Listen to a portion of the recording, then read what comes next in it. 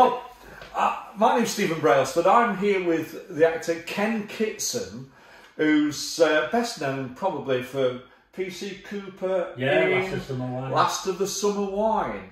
But it's Ken's 50th year as an actor. Yeah. And what we're going to do... quick. Yeah, 50 years as an actor. And what we're going to do over a series of interviews, we're going to get into depth in what you've done Right. and your roles and yeah, what ambitions you've still got. Oh, yeah, things yeah. because we all have ambitions. And so what we're going to do is do it over a period of time Yeah. throughout your 50th year. So 50 years in July. Yeah. Now, I didn't realise until I was looking at Ken's background and what he's done in the past, I grew up watching this man in some of my favourite programmes, going way back to Danger UXB, Yeah. Vandervalk, Yeah, Vandervalk. uh, all those. Yeah, I, that was my thing. But Ken, right, so we'll start off with your early stuff, and Right. then as we progress throughout this series, Yeah, yeah. we'll get more into depth of the later stuff like Last of the Summer Wine. Yeah. We'll, we'll, we'll settle with your early stuff. Yeah. So, what inspired you to become an actor? What, what made you want to become an actor? Um, I was in an amateur group in Bradford uh, called the Barnstormers, and um, what it was, uh, originally they did a, a Dales tour, Yorkshire Dales tour, and I wasn't acting then. And what I had, I was the only one in the group with a car, basically. so I became the treasurer on this Yorkshire Dales tour. Right? so that was it. Now, one of the actors, an actor well known called John Deteen, Yeah. right, who's done everything. I mean, you can check on him, he's done everything. And he was in the group and he fell ill on this tour. And they wanted somebody to stand in. And I couldn't learn, obviously, the massive parts he got, but the smaller parts, I learned them and I did it. And it was like, wow. And I really just, and that was it. And I was a printer at the time. I did my apprenticeship as a printer. I ended up, before I went to drama school, as a manager of a printer at 21 year old All right. right, in, in Bradford. So I did that for about three years, and then in, um, when I was 23, I went to drama school at East 15 Acting School in Essex, and I applied for um, Drama Centre and LAMDA, and I got in at LAMDA, and I got in East 15. Uh, now, um, in that mean, in the meantime, I was getting fed up of uh, printing, and John had moved to London, and uh, he wanted a fourth in the flat, and I thought, why not? So that was it. So I'm going to London. But- but- but I, yeah, but I needed work, so I ended up getting another printing job in London, right? But then I was going to an amateur group from North London to South London, a couple of nights a week, and it ended up nearly six nights a week I was going across. And then I just said to the director, "This is what I want to do." He said, "Really?" I said, "Yeah." He said, "Well, I think you've got a chance."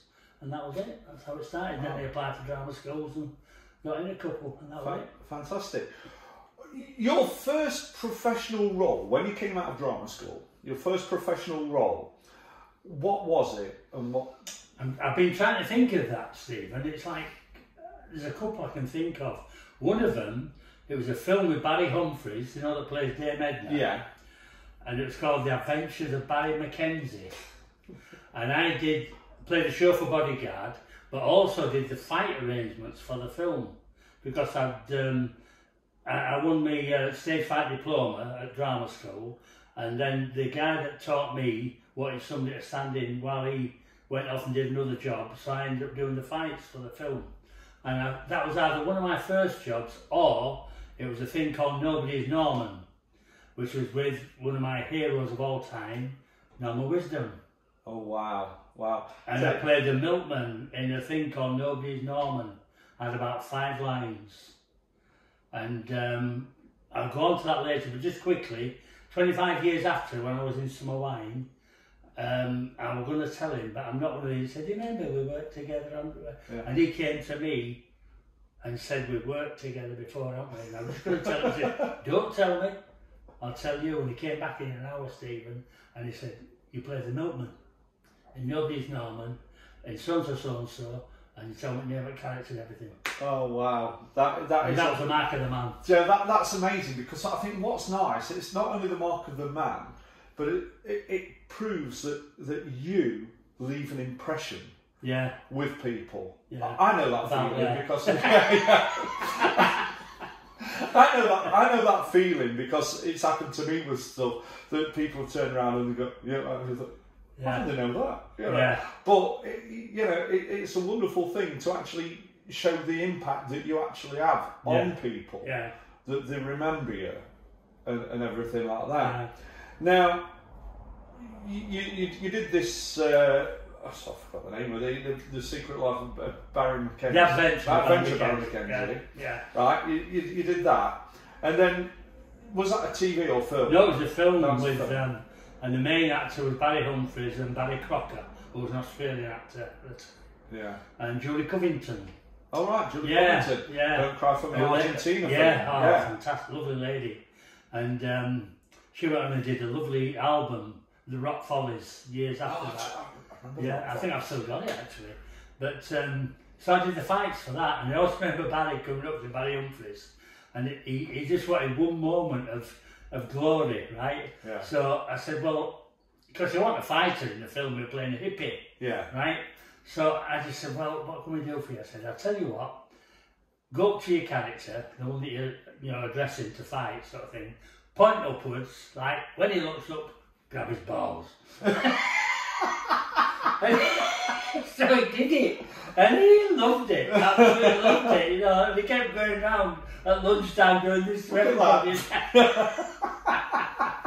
but he was a lovely guy, well, still is a lovely bloke, you know. what I mean? Oh, Joe, But, amazing. uh, yeah, to think I worked with Dame Edna, you know, before he became Dame Edna, you know. That's amazing. and he, he, he like he just loved this thing.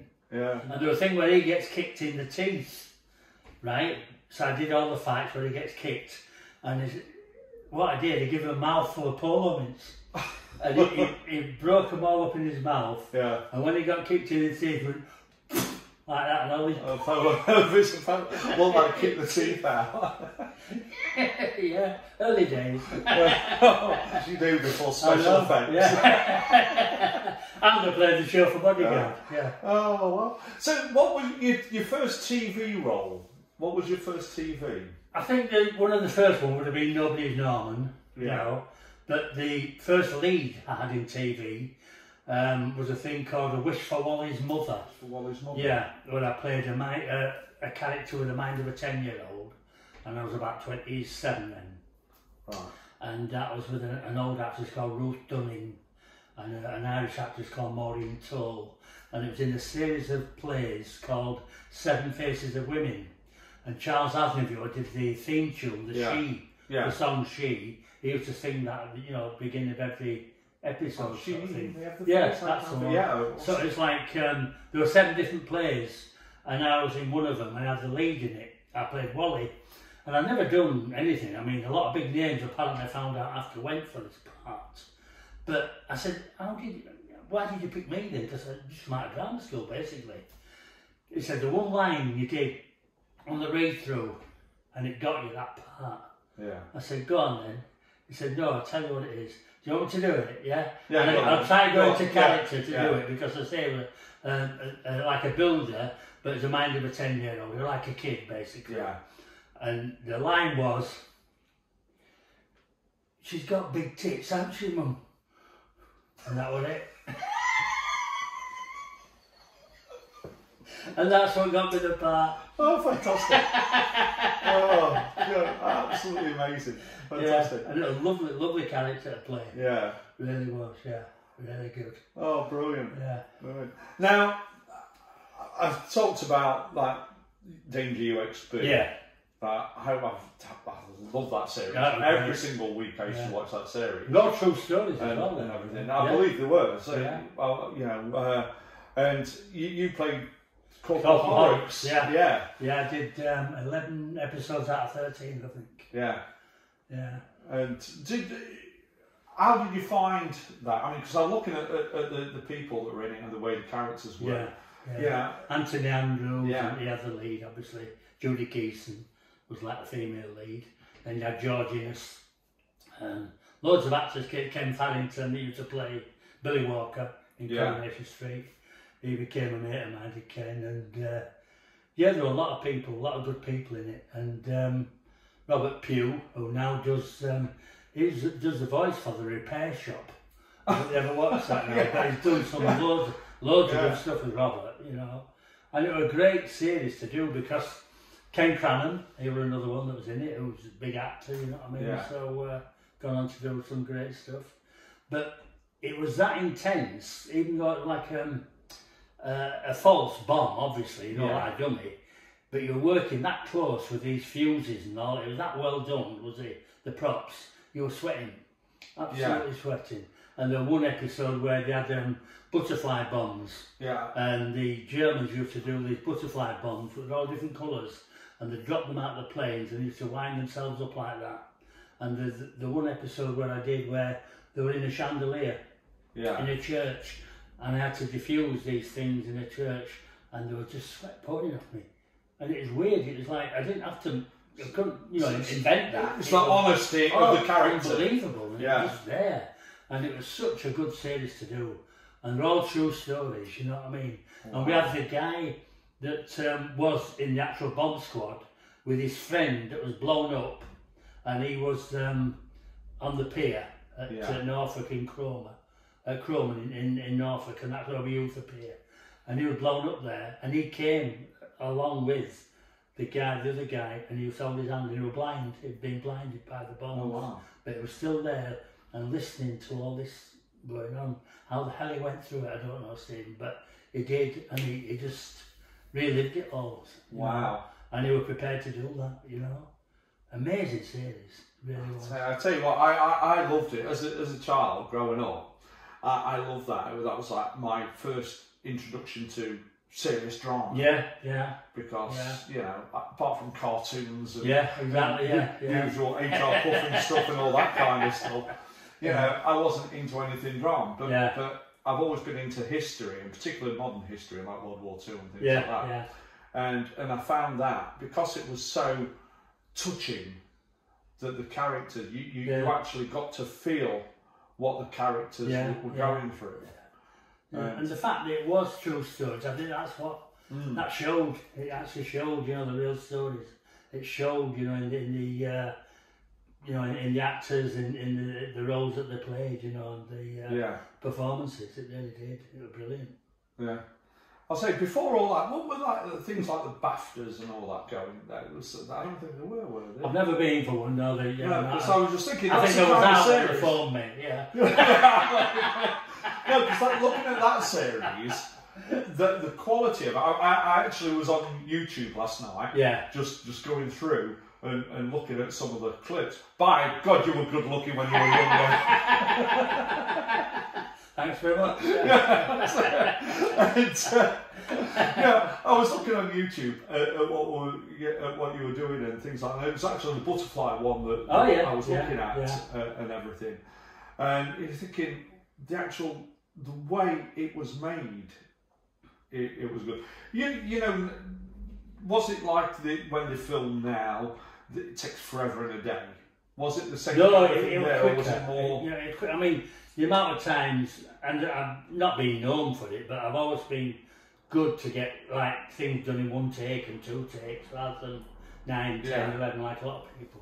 And we did a lot of things in one take. We Yeah. really did because things like you, where you you're pushing a bomb in the East End to push it into the Thames to get rid of it. Yeah, You keep setting that up, and it takes forever. You know what I mean? Yeah. So we had to do it, and we all had to do it together, and we did it. You know, Yeah. worked as a team, and that's what it was. well, there, The there's bomb disposal squad, the squad was a team. Was- you know what I mean? Yeah, I mean that, that was the big thing about it. But also looking at the way the filming is developed. I mean, it used to be film yeah, back in those days, Yeah. and it was expensive to oh, make. oh yeah, yeah, Where now Yeah. everything's digital; it's all on a card. yeah, You know, exactly. it's, yeah. it's all that. So you know, you needed to be more on the ball Yeah, with getting yeah. it getting it done Yeah. or anything like that. But it was a brilliant series. I've got it on DVD, but they never did it over here. I had to send to America for it. Yeah, yeah. I say I, I was actually scouring uh, on on all the platforms because I, I I I was watching one of the videos where there was a guy talking about who's doing a, one of these blogs about Yeah, yeah, the yeah. UXB, and he said at the time it was on Amazon, so I was Right. searching all the platforms, Yeah. and it's not out there. I mean, I've not checked uh, the BritBox thing because Right. that's the probably the only one that if it's on, it'll Yeah. be on there. Well, I saw it being repeated on channel 81 Yeah. just recently. Oh right. Yeah. Um, and I can't think, is it Talking Pictures or something like that? It was on one of them channels anyway. That, and I just happened to flick through, but I couldn't get it. I just saw it come up, but I couldn't get it on, you know. Uh, Yeah. and it annoyed me, you know. But I mean, I've got a DVD anyway, but. Uh, I don't know what you're like, but I've got all these DVDs Oh, and videos, and I still watch them when they come on telly. yeah. I must have watched Rocky, Rocky one, two, three, four, and five. It's all right. I've You've got all. you've got to at adverts again, haven't you? You're like, there's stuff for the adverts. But, it. I know. I know. you know, if, if they remade that kind of program, yeah, that, if they made it and turned it into a film or something Yeah, like that, yeah. if they took that, the, the storylines that were there and turned it into a film, you know, would you still, would you love to be Oh, involved in? yeah, but I mean, I'm, too, know? I'm No, I know, but 75 now. as a God's di- sake, you obviously a different character. Oh, you gotta look you know. yeah. You, you don't look 75. Oh, really, Stephen? Age is just a number.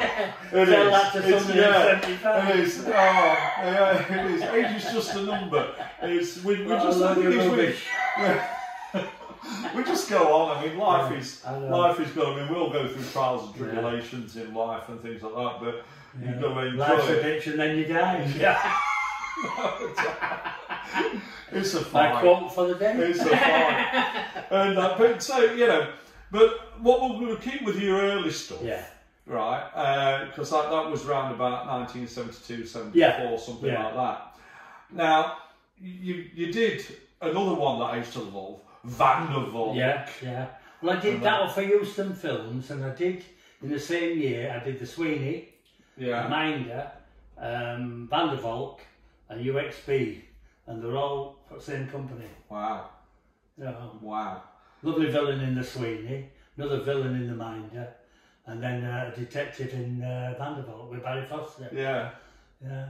Oh, well, I was, I was going to say Vandervalk, another one. It was like my introduction to Yeah. Holland. Simon Parkour ex- extra, uh, orchestra. I'll get the word Yeah, out. yeah.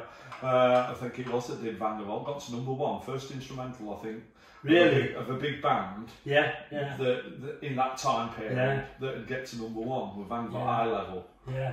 It's, I still use it in music quizzes now. but it was great because I had a lot of time off in Amsterdam as well, so I could Mm.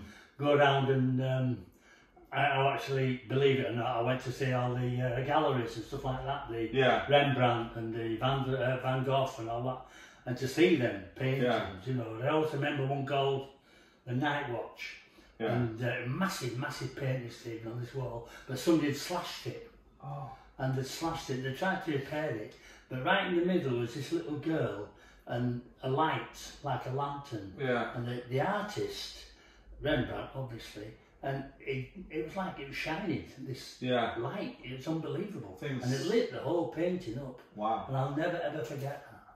Wow.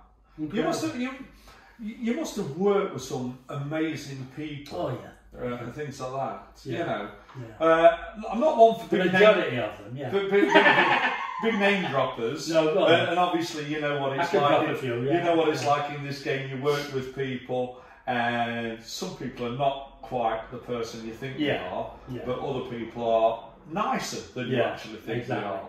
You know, They live up to what you expected them to. yeah, That's but not most, not not that's knocking. the most rewarding thing. Yeah, but not knocking anybody.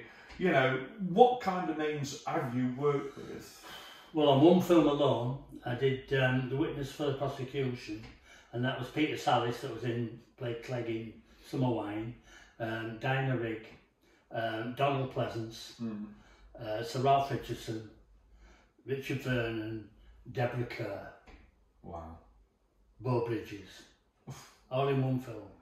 And you know, Deborah Kerr was the most beautiful lady you could ever wish to meet.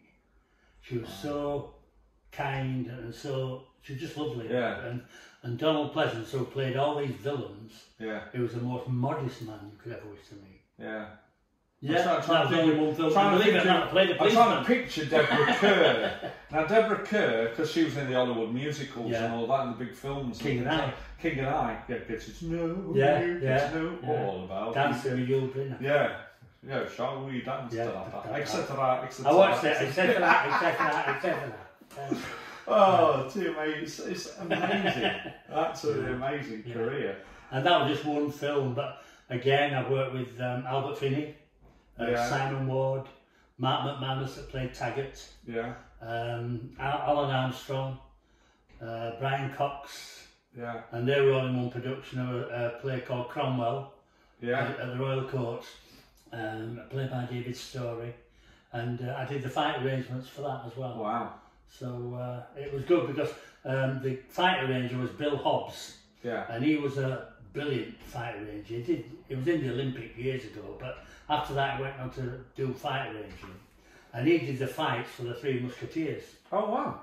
And what he did, he set the fights, and then he had to go off and do. I think it was Hamlet in Germany or something. Yeah. So he left me with it to polish it all up, to get them all to do, you know, get it Mm. to performance standard, and that's what I did. Yeah. Wow. Yeah. And that was just in one production. And another guy, Albert Finney, was lovely. Yeah, I mean, Albert Finney, the- I mean, I look at the stuff at Daddy Warbucks Oh, yeah. in, in Annie, in the Yeah. original Annie film. Yeah. Right? He's also in another one of my favourite films where he plays this, uh, like, lawyer, and that's Erin Brockovich. Oh, yeah. Yeah. What, you know, Yeah. in that. Yeah, it was Julia Brilliant. Roberts. Yeah, what amazing. Lovely actor and a lovely guy. Yeah. Yeah, was, yeah. Yeah. Oh, wow. And Brian Cox, who's gone on to bigger things now, obviously Yeah. in Hollywood, you know. But, So, uh, out of your early stuff, so we'll, we'll come back to all your you Oh, yeah, sort of yeah, stuff yeah. later as we as we progress down this yeah, this idea that you've yeah, yeah. Uh, This path. this path, yeah, we all follow a path. 50. yeah. yeah. fifty. I'll be 102 when we finish these interviews. It's all right, but you'll be tuning in, you'll be watching it. Yeah. I won't tell you his age, but carry on. Yeah, oh God, yeah, Age will say, I'm, yeah, I'm slightly, just, Yeah, exactly. just over a decade behind you. Yeah, yeah. But it's another year, I'll be 60. Yeah. So it's like, I yeah, I don't look it. Sorry, you don't look it, Steve. Thank you. but, uh, yeah, you know, out of your, your early career, Yeah. what is the, the most sort of like rewarding role you played, do you think? I think that was for Wally's mother. That was um, Yeah. that was amazing because I did some research on that, and I went to um, like an institution where these sort of people were. You know, like Yeah. uh, I don't know what the uh, word is nowadays. I don't correct, yeah. you call it. You Yeah. know, uh, what's politically correct nowadays. Learning Then you say and things like backward that. or retired Yeah. or whatever. And I also remember this one character, this one guy, and he was sat there and he was building these wooden bricks Mm. and he was going rocking back and forward like that. Yeah. And I watched him and watched him, and it was it just I didn't even know that he'd seen me. And all of a sudden, he picked one of these bricks up and threw it at me, and it just missed me out. You know, Yeah. it was like Yeah. that's what I'm going to do if you carry That's the kind of character. I went back Yeah. and I thought I've got to get some of that character in there. Yeah. And there are a few like that. that I, I Yeah, because I, I mean, I mean, luckily, as as time has changed and people's are not so ignorant yeah, to to that kind of thing Yeah, yeah. now, uh, because I mean, obviously, we come from a time where it was shoved in a cupboard. well, at one time, no You got a Down syndrome actor Yeah. in anything. Yeah. You know what I mean? And now it's brilliant. Oh, it's brilliant. I mean, I, I, I do a lot of work with a, Yeah, Down, a Down yeah. syndrome group in Hull. Yeah, Uh, I do a lot with something called Downright Special. yeah, yeah. you know, it, it doesn't matter to me what abilities, whether physical abilities, whether it be race, religion, sexuality, anything. If there's, a, I, I'm a believer there's two kind of people in this world. there's either nice people Yeah. or not nice. Yeah, people. oh yeah. Doesn't yeah. matter what yeah. whatever's in between. Worked You're with either nice. Yeah. I know the feeling.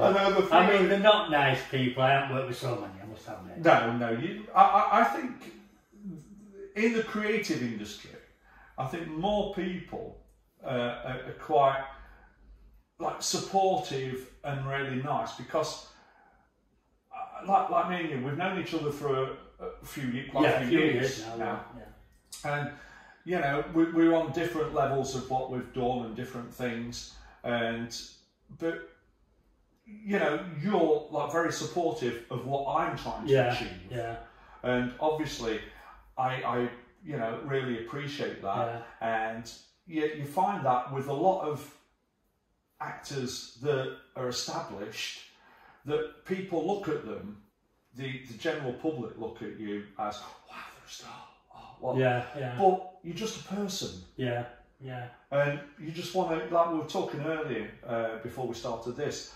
about we like to help people yeah, yeah, I love helping people and showing people the skills Yeah. I, I have yeah. and things like that. Yeah. And That's all Yeah. part of it to me, it really is, you know. And any actor or entertainer, any performer, whatever, if they put themselves on a pedestal, that's where they're going wrong. yeah, And a lot of people do, unfortunately. If the public put you up there, you can't stop that. no, But don't ever, ever forget your roots. no, And that's the trouble with a lot of actors that do, especially younger actors these Yeah. days. Um, and that's something you should never do. it's so easy for people to become I'm a star. yeah, yeah, yeah, yeah. that's not the thing. Yeah.